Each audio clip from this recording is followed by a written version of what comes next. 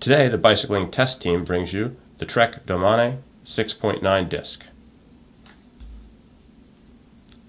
The Domane is Trek's endurance road bike. It's designed to be more stable and compliant than a traditional road bike, making this the bike of choice for Trek factory racing riders at the Spring Classics. And in fact, Fabian Cancellara races the Domane almost exclusively.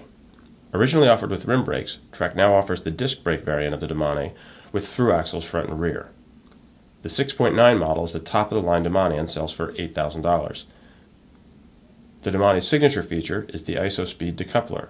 It uses an axle and bearings at the top tube junction to decouple the seat tube and allow it to flex more further and easily than a traditional seat tube. Trek claims this improves vertical compliance.